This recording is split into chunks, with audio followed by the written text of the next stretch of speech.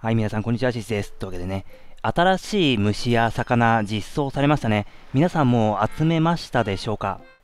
これはね、限定チャレンジにも入っていて、まあ、急がないんですけども、1回ずつは釣りたい。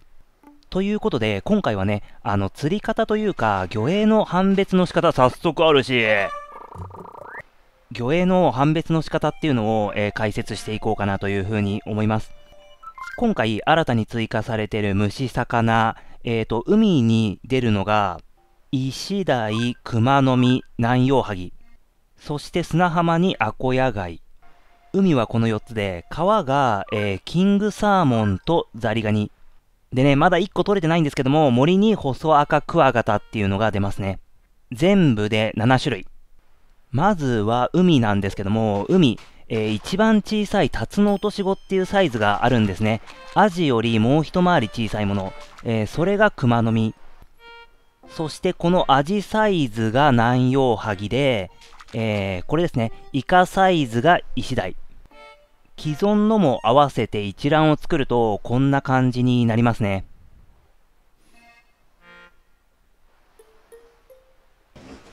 そして川。川は追い川サイズ。これこれ、この一番小さいやつがザリガニ。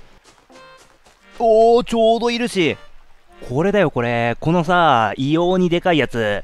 今までいなかったブラックバスよりさらにでかい。これがね、キングサーモンです。釣れたかな？よーし。で、既存のも合わせると、こんな感じになりますね。皮。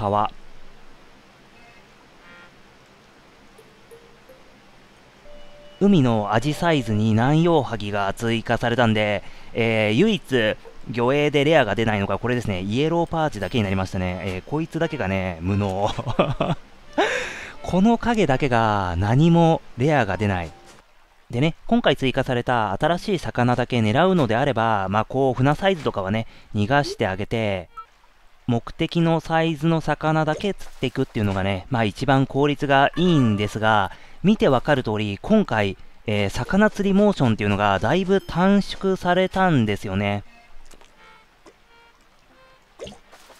引っ張るモーションがかなり軽い、短くなった。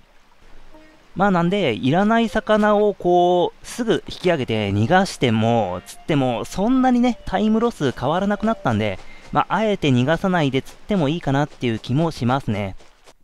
さあ、そして最後、細赤がね、森に出るんですけどもね、まあ、出ないんですよ。全然出ない。結構やってるんだけどさ、で、こうやって逃がす、逃がすのポイントですね。以前の動画でも出しましたが、こうやって逃がすことによって、新たな虫が湧くので、いらない虫を逃がしてあげて、えー、しばらくしてまた来るっていうのが重要なんですが、依然取れない。というわけで、今回はね、まあ簡単な動画でしたけども、新しく追加された魚の魚影っていうのを、まあ一応ね、覚えておいたらお得かなっていう感じですね。あとはね、まあ需要があれば、新しい、まあ今後来る、えー、アップデートの解析情報とか、まあそういうのもね、紹介してもいいのかなというふうに思ったりもしてるんですけどもね。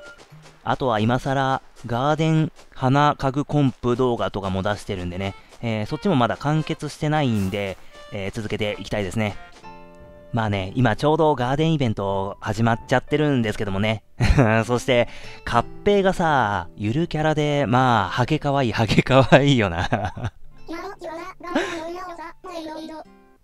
そしてこのサングラスで完全なる夏ファッションをしているという、パリピだからな、パリピ。というわけで、まあ今回はね、この辺りにしましょう。皆さんどうもご視聴いただきありがとうございました。